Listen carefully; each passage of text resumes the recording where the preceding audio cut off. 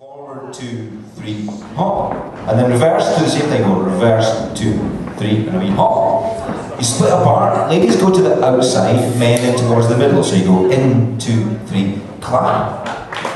And then you go back, two, three, and you take a ballroom grip with your partner. That is, gentlemen should be like this.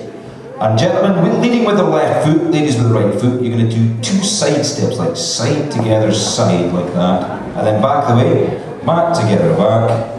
And then finish, you do a polka, which is like a wee hop, skip, hop, skip, round, two, three, whilst coming out, you go hop, skip.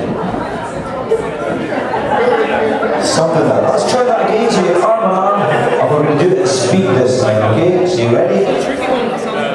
Arm arm, or hand in your partner, and we will, one, two, three, four, forward, two, three, hop, reverse, two, three, split apart, apart, two, three, and back together, two, three, ball grip, side together, side, and then back together, back, then you polka round, hop, skip, hop, skip, round, and that's all there is to it. Easy, totally.